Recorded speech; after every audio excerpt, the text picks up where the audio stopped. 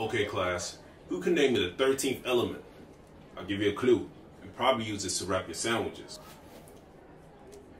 You in the red. That's easy. Aluminium. No.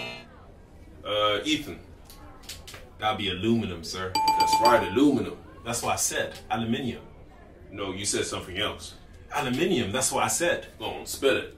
Okay, I'll spell it. A-L-U-M-I-N-I-U-M. Wrong. There's no extra I. What you mean there's no extra I? Aluminum. A-L-U-M-I-N-U-M.